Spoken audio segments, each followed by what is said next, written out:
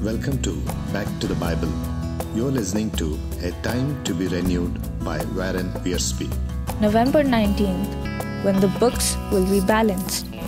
I once heard Dr. W. A. Criswell tell about the faithful missionary couple who returned to the United States on the same ship that brought Teddy Roosevelt home from a safari in Africa.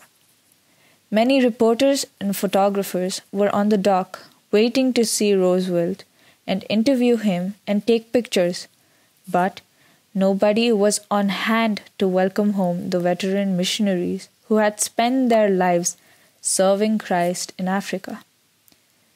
That evening, in their modest hotel room, the couple reviewed their arrival in New York City. The husband was somewhat bitter. It isn't fair, he said to his wife.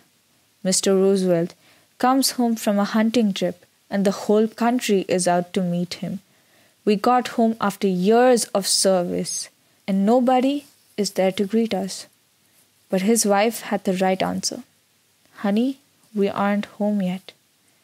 In my own travels, I've seen situations in local churches that have broken my heart. I have seen congregations show little or no appreciation to faithful pastors who were laboring sacrificially to see the church grow. Some of these men were underpaid and overworked, yet the churches seemed to have no love for them, but their successors were treated like kings. Perhaps you are being overlooked for your faithfulness. Certainly, at the judgment seat of Christ, the books will be balanced. From God's work, Luke chapter 16, verses 10 He that is faithful in that which is least is faithful also in much. Consider Proverbs chapter 28, verses 20, Matthew chapter 24, verses 48 to 47, Revelation chapter 2, verses 10. In your hymnal, find What if it were today? Give special attention to the third stanza.